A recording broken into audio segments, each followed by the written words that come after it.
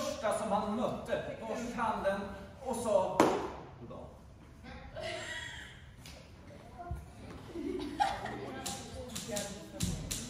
Det här är en skrivmaskin och ni är klass 4, 5 samt 6.